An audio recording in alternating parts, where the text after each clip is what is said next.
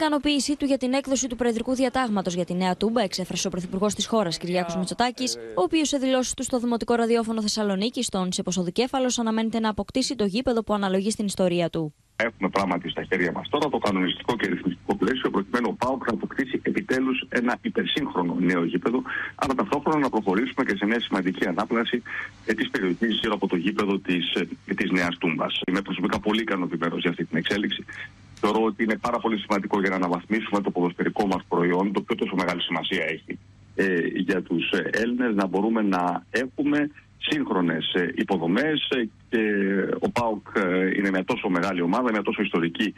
ομάδα που αξίζει να έχει το, το καλύτερο δυνατό γήπεδο και αυτή η δυνατότητα πια δίνεται μέσα από το Προεδρικό Διάταγμα.